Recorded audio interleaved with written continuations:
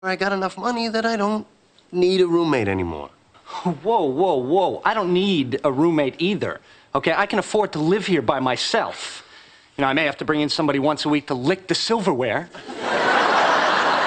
What are you getting so bent out of shape for, huh? It's not like we agreed to live together forever. Bent out of shape.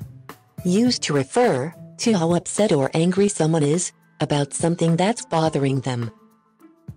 Examples What's going on with him? No, he's all bent out of shape about having a roommate agreement meeting. Apparently, perfect attendance isn't cool anymore. I know what's going on here. You're bent out of shape because your mom's having another baby. No, I'm not. It's okay. Nothing to be ashamed of. In fact, I know exactly how you feel. Where do you get off sending me to shop with your girlfriend?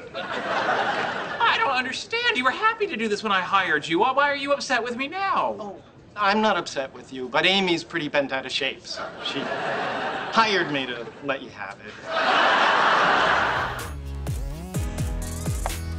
What are you getting so bent out of shape for, huh? He's all bent out of shape about having a roommate agreement meeting. You're bent out of shape because your mom's having another baby. I'm not upset with you, but Amy's pretty bent out of shape, so